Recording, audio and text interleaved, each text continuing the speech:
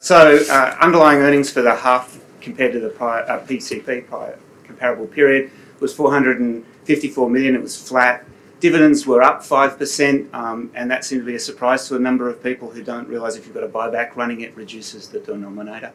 Um, and then with the uh, uh, um, forecast for uh, guidance for the full year was raised from an 830 to 880 million to 870 to 910 million. That includes a one-off that we uh, saw coming through from a successful court action uh, on a tariff argument that's been going for years, uh, referred to as WIRP, W-I-R-P. It's to do with Wiggins Island in central Queensland.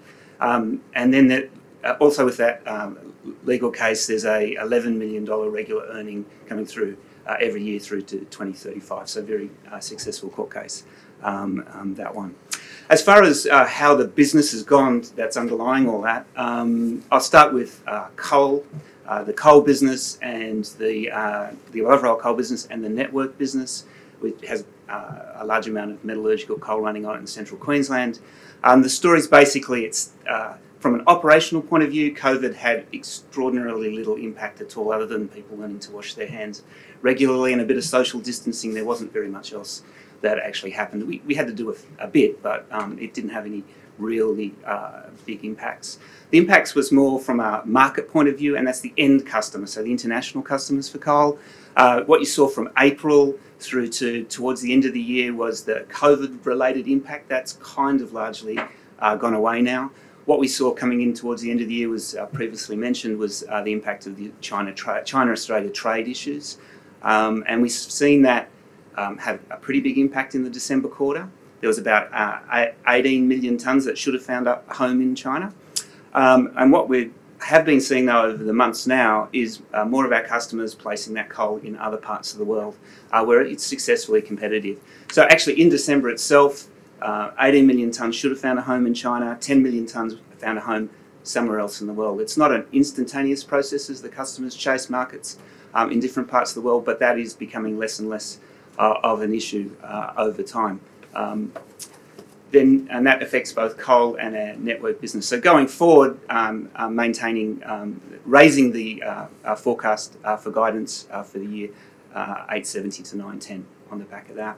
A bit about bulk. Bulk didn't have any issues through that entire period uh, at all. Um, big demands for a lot of products, including, of course, we've all heard the iron ore story, and we do have some involvement in iron ore in Western Australia. But all the other products, copper, um,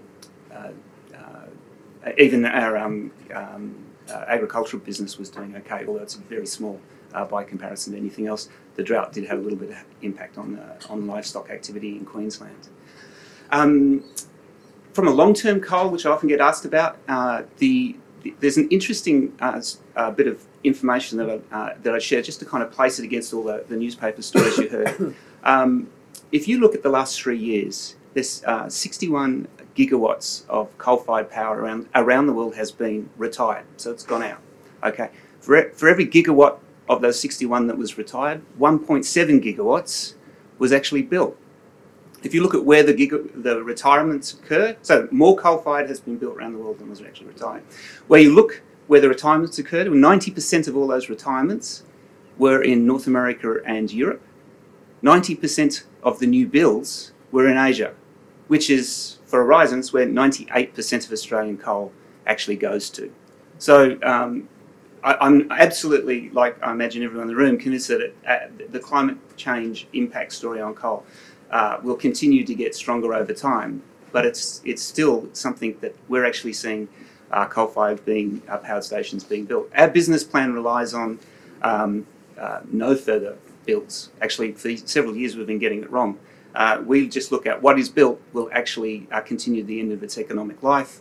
The reality is power stations, unlike in Australia where they're in their mid to late 30s or early 40s for how long, how long they've been operating for, the average uh, length of a power station life is 13 years in Asia at the moment. So there's um, easily 20 years of, uh, 20 to 30 years of uh, still operating uh, capability, and that's just for thermal power. I won't get into the a metallurgical coal story because that takes a, a, lot longer to discuss as well. Um, the, um, the other thing I'd say about bulk, the bulk business, um, is four years ago that was losing that bundle of contracts that makes up the bulk business because it, it didn't actually have a business wrap around those contracts. I, I created that four years ago. Um, it was losing $14 million. Uh, we're, we're forecasting over $100 million uh, profit uh, for, the, for this year or earnings for this year. And um, that's on the back of great customer focus, um, relentless cost reduction, and actually expanding our, our customer base.